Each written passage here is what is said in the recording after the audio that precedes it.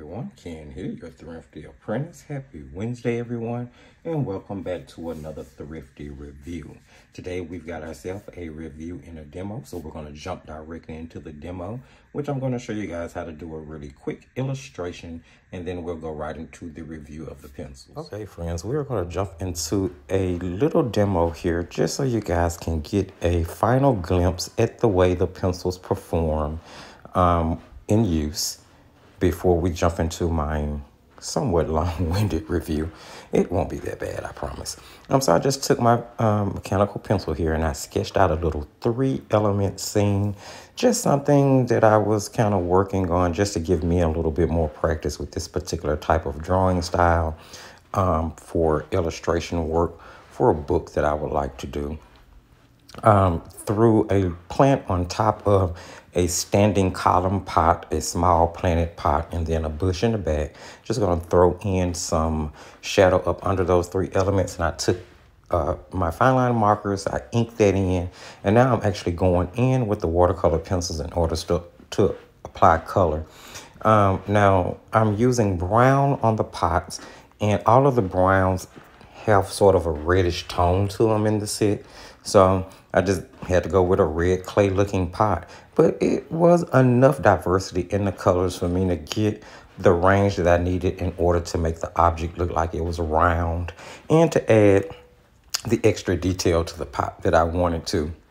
Now I'm going to be tackling the greenery with three different shades of green.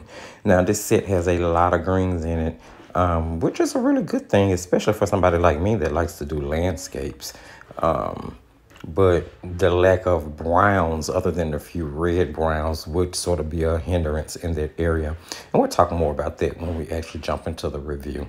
So here you're just going to see me dabble back and forth with three colors of green until i'm able to get the shading that i want. And if you notice with the brush that I'm using. And by the way, that's a number two round golden Taklon synthetic, synthetic brush because I do suggest that synthetic brushes are the best to use when you're using watercolor pencils.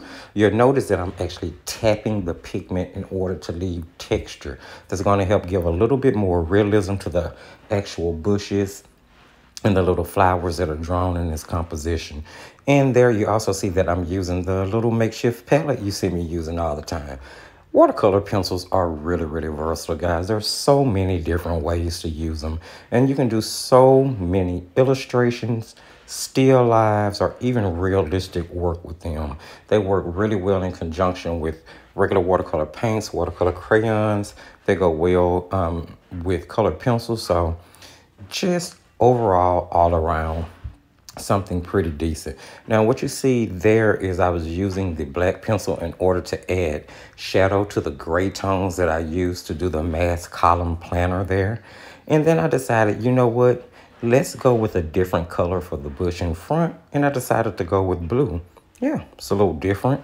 And I do tend to see these type of colors used in foliage, bushes and trees, especially in a lot of like uh, manga work, which is something I'm leaning more towards trying to learn to illustrate and draw.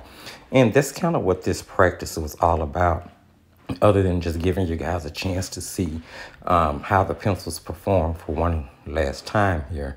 I'm just basing in the shadow, used a couple of grays, and a black in order to get the shading that I needed. And then I'm jumping in with the white gel pens, which I need to get me some more of them because none of these seem to work worth anything. If anybody has a suggestion for a really good white gel pen, jump in the comment section and let me know.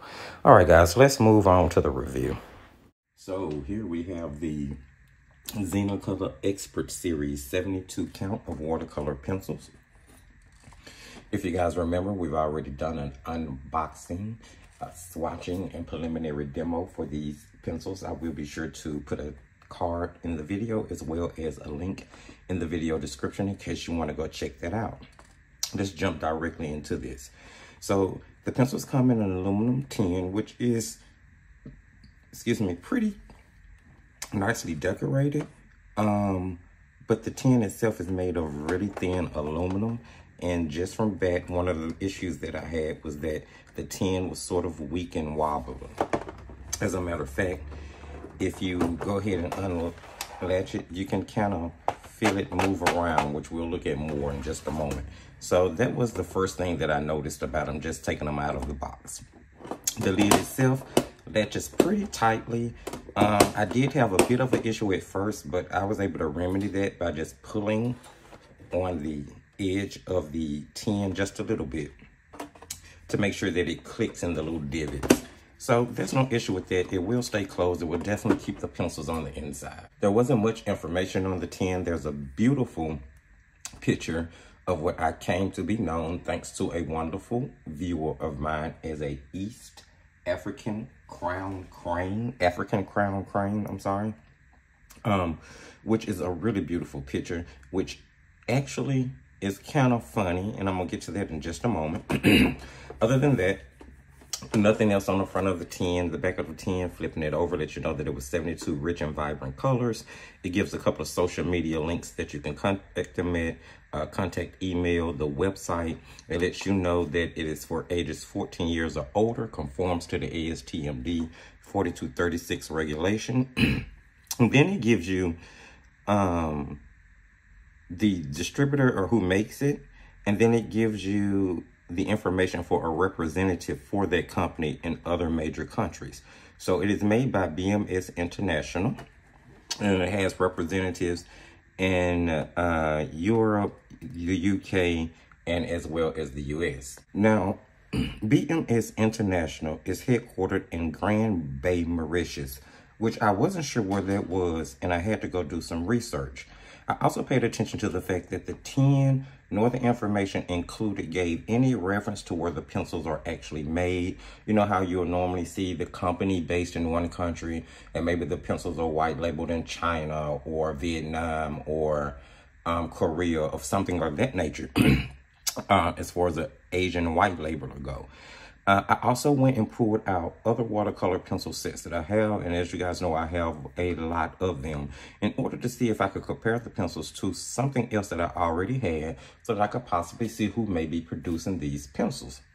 The case is, normally with budget companies, they white label their products and they don't produce them themselves. I found it really funny that I found no form of information indicating the manufacturer of these pencils. I even went to the website and nowhere on the website was I able to find it say where the pencils are actually made. With all of that in mind, um, I looked up Mauritius. Mauritius happens to be a African island country uh, off the east coast of Africa, off of the far east coast of the country of Madagascar. So with all of that information, I came to the deductive conclusion that BMS International possibly produces their very own products. Now, they started Zenacolor, and it was a it is a budget art company um, that produces pencils, paints, palettes, and papers. Um, the range of products that they produce that I use um, on this channel all oils, acrylics, gouache, watercolor, color pencils, watercolor pencils, and oil pastels. Um, so it's an all-around, all-over art company. And I just thought that that was really, really, really, really neat. So I am going to go with the assumption that these pencils are produced in East Africa by BMS International and that they do not white label. Now, if there's anybody out there who knows anything different than this, because this is my best educated guess that I'm making, just based on my experience, um, please jump in the comment section and let me know because I never want to give out any wrong information. And I'm always open to a correction um, to what I say, as long as it's factual and, you know, it can be proven. Um, opinion based, opinion based, opinion based is one thing. But if I should say something and you know for a fact that it needs to be corrected, please, I will never ever, I want the audience to know. so let's just jump into the pencils. When you pop open the tin here, the very first thing you're going to get on the inside of the tin is a color swatch. Now, initially when I um, did the unboxing video, I had qualms with the fact that the colors were swatched here with no number. And on the pencil itself, there's a number but no name. However, the pencils are numbered in order 1 through 72, so as long as you put them in order in the tin, it will correlate with the color swatching that's in the top of the tin. I just wanted to offer that information. If you need another point of reference, you can always go to your do-it-yourself color chart that was provided. It's going to contain both the number as well as the name for each pencil. This paper um, that they provide to swatch on seems to be somewhere around a 90 pound mixed media paper, if I just had to guess. So it did well for me swatching the mass tones of these pencils, considering I typically use watercolor pencils and or color pencils in mixed media work or on mixed media paper.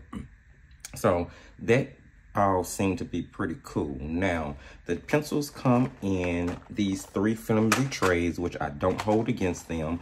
Even some of the legacy companies, when they produce their pencils, put them in flimsy trays. What I do fault them for, however, is the fact that, again, the tin itself is so flimsy. Although you could remove the pencils, me personally, if I was keeping these pencils, I would remove them from the tin and put them into like a, a linen carrier, a cloth carrier, vinyl carrier, something that would protect the pencils better not unless you're just going to be using the tin for storage and or props um, for pictures. So that's definitely something to be considered. Uh, let me stick this back in. I got a dog barking outside, so you guys are going to have to look over that. Let's take a look at the actual barrel of the pencil itself and try not to drop any of them here. So the barrel of the pencil itself is a full color swatch, which is pretty indicative of the color of the lid. I did find that these were closer with the swatching on the barrel than most watercolor pencils that I've run across. The information on the barrel is going to give you the company name, that it's a watercolor pencil with the brush logo to let you know it is water soluble, and the number for the pencil. Other than that, there is no information listed. Now, you don't typically expect pigment number, but colored pencils and watercolor pencils, um, you are looking for the light fast rating. And I am no longer giving companies passes on, you know, putting a light fast rating on their product. I think it should be pretty standard considering the fact that everybody and their parents are into light fast information, especially if they're professional artists or seeking to be one. However, I believe that these pencils actually target a market that might not necessarily care that much about light fastness. And that's the coloring book market, the adult coloring book scene. Now, no disrespect to that scene at all, but I do know that most coloring book artists color in a coloring book and the work is protected between the pages when the book is closed. Therefore, light fast information would not be something that was relatively important to them. It's not like the artwork is going to be hung in direct light um, or in a museum or anything of that nature. And I would assume it wouldn't be used in a commission. And if they are used in commission, I would hope that you would disclose that to your client before you allow them to purchase it. And if they're okay with it, then I say, hey, go for it. So no light fast information. The pencils are domed on, I'm sorry, are not domed on the end, which I was really excited to see um, because it helps you see better whether or not the lid is centered in the pencil. I did go through all 72 pencils and I did not find any of the lids being off kilter, off center. I also did a roll test of all the pencils in their trays because they are round. I didn't find any discrepancies with any of the pencils being like malformed or misshaped or anything of that nature. With that said, they are a round pencil, so they are prone to roll away from you when used just um, so you'll keep that in mind. Now, the pencil lid itself was pretty sturdy. They're actually, you know, pretty brittle lids, if the truth be told. Now, although they're centered, and because they're centered, I didn't experience any problem with sharpening them. And when they sharpen, they will sharp to a really, really fine point. The issue is that the lid is so brittle that that fine point breaks quickly they break really easily under a lot of pressure. And that's unfortunate simply because the pencils are pigmented and they will put off a pretty decent amount of pigment for a budget grade watercolor pencil. Of course, you can get more pigment by pressing harder, but with the brittleness of the lid, pressing harder simply means that you're breaking the lid and now you're having to do more sharpening. The issue with that is that you use product up pretty fast.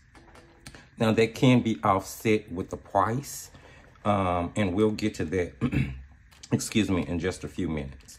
Now, the color payoff is really, really cool. They're not scratchy. They did do a lot of covering. Now, the product itself does wear down pretty fast. I have to say that I've only done maybe two, three, four compositions at the most in the pencils that are colors that I tend to use and grab the uh, most have worn down a little bit, especially in the blue section here. Pretty diverse range of colors, but I will say that I felt like some of the colors were a little bit samey. So you get 72 pencils, and in that 72 range, when you start to get two or three pencils here and there that look the same, it reduces the number of pencils that you're actually getting, especially when you don't have 72 different versatile useful colors. Let's move on and take a look at the swatching sheet. I'm gonna put these back together being as careful as I can not to drop anything. Now there is a brush included in the set. It's just an old throwaway knockabout brush. Um, those brushes that you get in the really cheap kids art set. It's nothing that I even attempted to use because I didn't want to be frustrated and I would suggest the same for you. Let's look at the swatching so we can talk about the actual product. So I swatched the pencils out on their paper and then I swatched the pencils out on the normal uh, mixed media paper that I use. As I said earlier, large, large range of colors. They performed pretty well on mixed media paper, both for the watered swatch as well as the mass tone swatch. What I did notice right away is that there was an issue with the dissolvability of the pencils. The mid-tones and the dark tones seem to dissolve much, much better in water than any of the lighter tones. The lighter tones definitely left um, ghosting on the mass tone, and I did find this to be the same on one on um, regular watercolor paper as well as Bristol board. So there wasn't just an issue that was indicative to the mixed media paper. I did think that there was something to take note of. I also found the set to be a little lacking in earth tones, especially in browns. There are, I mean, there are a few browns in the set. They all seem to have more of a reddish undertone than anything neutral leaning um, which may cause an issue with using the browns as a mix if you're trying to mix the colors. Because as you know, you do not have to use the pencil directly as a pencil per se. You can use it directly to paper. You can paint directly from the lid with a brush, or you can actually make a palette as I do and scribble the pencil lid out in the palette and make a little paint palette from it. So this is something I always suggest. Just grab you one of these little throwaway palettes, a piece of sandpaper, abrade the surface so that you have scratches in it and those scratches will grab the lid of the watercolor pencil. So I was able to use it versatilely, but it all kept stemming back to the fact, excuse me, that the brittleness of the pencil lid stood in the way with some of the techniques that I was trying to do. Not necessarily with the palette making, I mean, because whether the lid broke or not didn't matter because I was going to be adding water to it. Um, so that browns, yes, browns, browns, just, it definitely could use a different selection of browns. Now, I initially said that, you know, I was going to give that a pass because I felt like it was targeting color book artists, um, color illustrators, but then I thought to myself that there are many color book artists who do landscapes as well as animals. And both of those subjects would require, you know, a pretty nice brown here or there in order to pull off. So not to rein, you know, rein in and concentrate on that particular point too much, but I did think there was something to be noted. There's a pretty, pretty decent range of blues, greens, didn't have any problem with those cooler tones. As far as the warmer tones are concerned, you get a large variety of them. A lot of lights as far as the pinks and the yellows goes. Large section of reds here, goldens and yellows and oranges. And of course, we know that browns are really just desaturated oranges. But when it comes to a set that I feel like is targeting color book artists or maybe beginner watercolor pencil users, they may not have discovered the whole mixability of watercolor pencils yet. And when you're going to give a person 72 pencils, I think you should give them a range that'll be useful across all subjects that they were trying to possibly use the pencils for. pencils blended pretty well. They layered pretty well. I did a little testing here. so I wrote down two, or I'm sorry, scribbled out two of the colors. And I don't know if you guys can see that, but you see where I have the circle here? This is where I did a smudge test and tried to smudge the pencils across paper. Now this is watercolor paper. It's 140 pound cold pressed acid free cellulose paper. So it is made of wood pulp.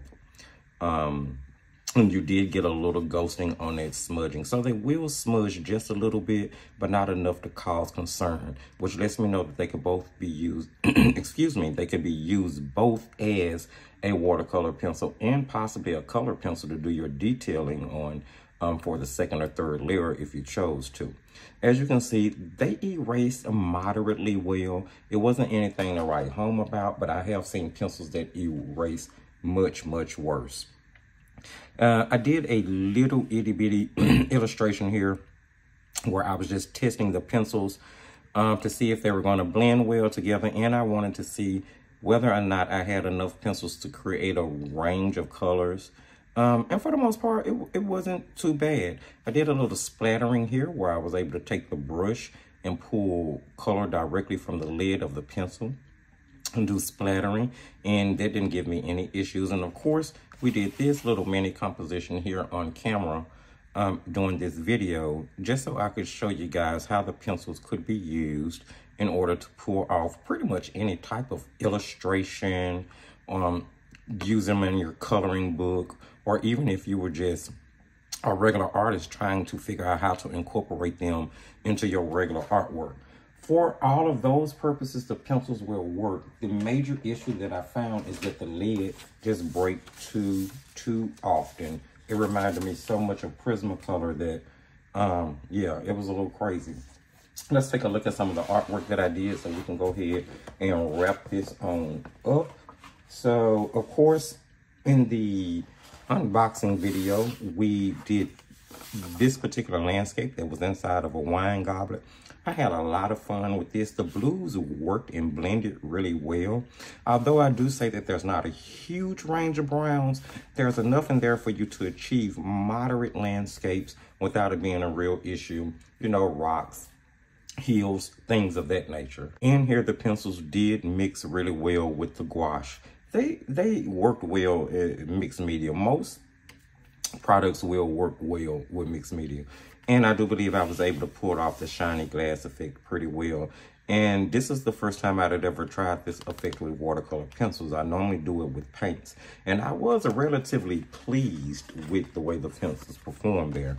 Next we did, or what went up was, let's see, this mountain scene which was pretty straightforward. I was basically using the pencils to see if I could achieve a night sky with stars and whether or not I can use them to really get some deep saturated colors in order to do the shaded side or add shadow, which again, didn't have any issues. They worked pretty well there. The pencils cover really well. They don't leave like a chalky feeling that'll rub off or anything of that nature. And again, they work well with the gouache there. More recently, I did, I've been working way ahead of time on Inktober because a lot of my Inktober drawings are going to be um, things that come out on the channel. Um, now, this is not going to be the, this is not going to be um, the illustration that comes out for this day, but I think it's day 11 and I was painting ahead and day 11's prompt was winder you know, kind of to wander around aimlessly with no plan, no direction. And that tends to be what I do when I go to the lake or to the pond or open fields with water. I'll just walk around and I'll drink, uh, Lord, drink, think. I'll walk around and I will think um, ideas, ponder, take pictures, just and end up spending a lot of time doing that, not even realizing it. So this kind of what I sketched out here, places where I like to walk it. Now, this was more on the illustrative side, um, leaning more towards the type of work that I want to do for the book, uh, the little fantasy book I'm always talking about, versus leaning towards realism. But either way, they worked well. They blended okay. This mixed media paper, this is the same paper that I did the swatching on. So I feel that the pencils work a lot better on watercolor paper. I'll be honest, which makes me curious as to how they're going to work on um, in a coloring book. And I actually did not test them in a coloring book, but I do not believe that most coloring book paper is as robust as like 140 pound watercolor paper. I think it's more along the lines of maybe mixed media paper or the type of paper that came in the swatching. So for those purposes, I think they'll they'll work okay. They really will. No qualms. Now the pencils came out to be, or currently, should I say, are currently listed for $14.99. And then, of course, you guys saw that illustration there. The pencils are currently listed for $14.99 for 72 pencils. Now, when you think about that price and everything that I've said about the pencils, it sort of makes you feel a little bit better. Um, they are definitely more budget friendly than a lot of products out there on the market right now. Um, considering the fact that you get such a large quantity. If I had anything to say or any suggestions to make the BMS International about the pencils, one would be include the color name on the barrel. Two would be, I don't think it's too far of a stretch to have to ask that you include the light fast information on them, just for those artists who care. I know some don't, but there are some who do and that these things are important to. And I would also say to think about reformulating the lid of the pencil to make it a little bit more stable and a little bit more sturdy. If they're producing their own pencils, if they're not producing their own pencils, then you know the product is what it is, and this is what it's going to be and what you're going to get. Um, do I recommend the pencils? I guess it depends on who, what you're, who you're getting the pencils for. Someone just getting into watercolor pencils that you know, don't have a lot of experience, not expecting a whole lot, just want to play around with them to see if they will work for them. Definitely. Um, someone that's maybe into card making or um, journaling that's just using the pencils to add a little bit of color here and there. I can see that happening. However, if you are serious about watercolor pencil work, if you're serious about the heavy use of watercolor pencils in your regular artwork and your mixed media work, if you are a serious diehard coloring book fan, I believe that these pencils may cause a bit of frustration due to the brittleness of the lead. So for me, that is the biggest caveat, not even the fact that they um you know, don't have light fast information. Like I can look past that because a lot of products I use do not provide that information. What I can't seem to get over is how much they break. Now, of course, if you're okay with that, then I say go for it because Prismacolor break, and I love Prismacolors. I use them all the time. Um, but it is a professional legacy company and it's something that's kind of ingrained in my blood. So maybe that could be the reason that I give them a pass. Um, however, when it comes to new budget companies that are targeting possibly beginners and new users, I think it's important that we know these type of things in order to make an informed decision. So there you have it. They would not be the first set that I recommend run out and buy. However, for the price of $14.99 for 72 pencils, I do believe that they perform well enough if you just wanted to give them a whirl. So there you have it, guys. Hopefully you heard, saw, found something helpful, informative in this video, or you just enjoyed hanging out for another thrifty review. If you did, don't forget to give the video a thumbs up.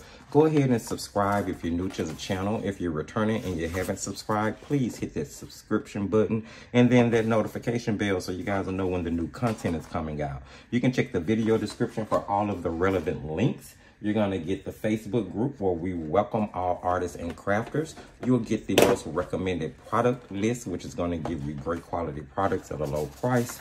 And you'll also get the link for both the Etsy shop as well as Patreon, where you can either join Patreon or purchase from the Etsy shop if you decide you would like to support the channel so that I can continue to bring you guys wonderful um, products that may be exciting and useful in your art journey. Thank you guys so much for joining me. I'll see you back here on Friday. And remember, as I tell you at the end of every single video, just keep painting and crafting.